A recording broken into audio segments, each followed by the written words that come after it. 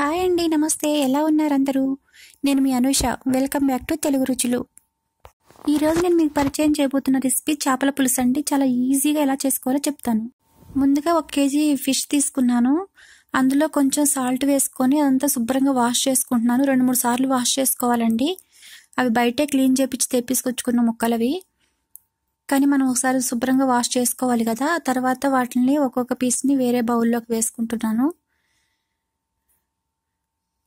ఇవి కొంచెం ఓపికతోనే కట్ చేసుకున్న తర్వాత కూడా కడుక్కోవాలండి లేకపోతే వాసన వస్తాయి అనమాట ఆ తర్వాత అందులో కొంచెం కల్లులుప్పు వేసుకున్నాను. తర్వాత ఒక రెండు స్పూన్లు వచ్చేసి నేను కారం వేసుకుంటున్నాను. కొంచెం పసుపు వేసుకుంటున్నాను. ఫిష్కి కొంచెం కారం ఎక్కువనే పడుతుందండి. చికెన్ కంటే కూడా ఫిష్కి ఎక్కువ కారం వేసుకోవాలి. ఇదంతా బాగా మిక్స్ చేసి పెట్టుకొని ఒక వన్ అవర్ పాటు దీన్ని అట్లనే ఉంచాలి. బాగా నానాలి ఉప్పు కారంలో తర్వాత కొంచెం చింతపండు తీసుకొని అందులో కొంచెం వాటర్ వేసుకొని నానబెట్టుకున్నాను. ముందుగా నానబెట్టుకున్న గసగసాలు ఉంటాయి కదా వాటిని నేను చిన్న రోట్లో వేసుకొని దంచుకుంటున్నాను. మిక్సీలో వేస్తే నలగవు కదండి కొంచెమే ఉన్నాయి కదా. ఆ తర్వాత స్టవ్ పైన నేను ఒక ఉల్లిపాయని కాల్చుకుంటున్నానండి. మీకు నచ్చితే మీరు ఉల్లిపాయలు కూడా ముక్కలు కూడా కట్ చేసుకొని వేసుకోవచ్చు. కానీ నేను ఇలాగే చేస్తాను నాకు ఇలాగే అలవాటండి. ఈ ఉల్లిపాయను బాగా కాల్చుకొని ఆ తర్వాత నేను అది పైనంతా క్లీన్ చేసి పెట్టుకొని మిక్సీ చేసుకుంటాను. ఇది నాకు మా అమ్మ నేర్పించిందండి ఇలా చేసుకోవాలని. నాకు ఈ టేస్ట్ బాగా నచ్చుతుంది. అందుకే నేను ఇలాగే ఫాలో అవుతాను. మీరు కూడా ఎప్పుడు ఇలాగా కాకుండా ఒకసారి ఇలా ట్రై చేసి చూడండి. మీకు తప్పకుండా నచ్చుతుంది. ఇది ఇప్పుడు చూస్తున్నారు కదా ఈ విధంగా కాల్చుకోవాలి. ఒక చాకు పెట్టుకొని దానికి గుచ్చేసి నేను ఉల్లిపాయని కాల్చుతున్నాను.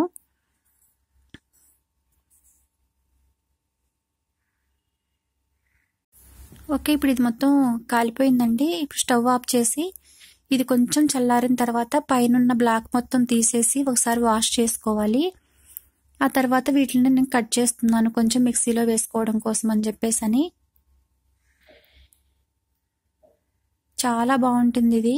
మీరు కూడా తప్పకుండా ట్రై చేయండి ఇలా ఈ వేలోనే. తర్వాత అందులో కొంచెం పచ్చిమిర్చి వేసుకొని అది మిక్సీ చేసుకున్నాను పేస్ట్ లాగా. ఇప్పుడు చేపలకు వండుకోవడం కోసం ఒక పెద్ద బాండీని పెట్టుకొని అందులో కొంచెం ఆయిల్ వేసుకున్నాను. ఈ ముందుగా మిక్సీ చేసి పెట్టుకున్న ఈ పేస్ట్ని వేసుకుంటున్నాను. ఆనియన్ పచ్చిమిర్చి పేస్ట్ని వేసుకున్నాను. అది కొంచెం ఫ్రై అయిన తర్వాత కొంచెం అల్లం వెల్లుల్లి పేస్ట్ వేసుకుంటున్నాను. ఒక రెండు స్పూన్లు వేసుకున్నాను నేను. ఇది కూడా కొంచెం ఫ్రై చేసుకోవాలి.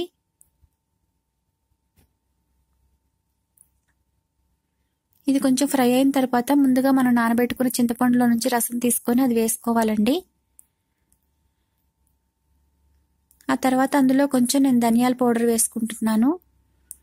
ఇదంతా మిక్స్ చేసుకొని ఒకసారి మూత పెట్టుకోవాలి.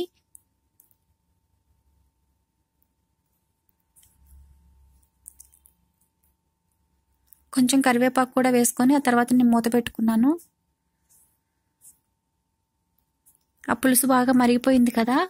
ఇప్పుడు ఈ మరిగిపోయిన పులుసులోకి ముందుగా మనం పేస్ట్ చేసి పెట్టుకున్న గసగసాల పేస్ట్ ఉంది కదా అది కూడా వేసుకొని బాగా మిక్స్ చేసుకోవాలి.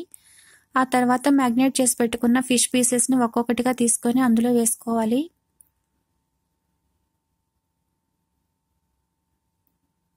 అన్నీ వేసుకున్న తర్వాత ఒకసారి ఇలా కదుపుకోవాలండి దీంట్లో గంట పెట్టకూడదు. గరిట పెడితే ముక్కలు చితిరిపోతాయండి. ఒక పది నిమిషాల తర్వాత చూసారు కదా ఇలా ఆయిల్ పైకి సపరేట్ అవుతుంది. ఇప్పుడు కొంచెం గరం మసాలా వేసుకొని మళ్ళీ ఒకసారి కలుపుకుందాము. చాలా ఈజీగా చేసుకోవచ్చు కానీ సూపర్ టేస్టీగా ఉంటుందండి. మళ్ళీ మూత పెట్టేసి ఒక టూ మినిట్స్ అలా ఉంచేసాను రెడీ అయిపోయిందండి.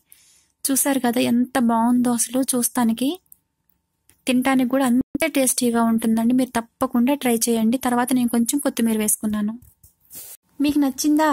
మీరు తప్పకుండా ట్రై చేసి ఎలా కుదిరిందో కామెంట్ చేయండి.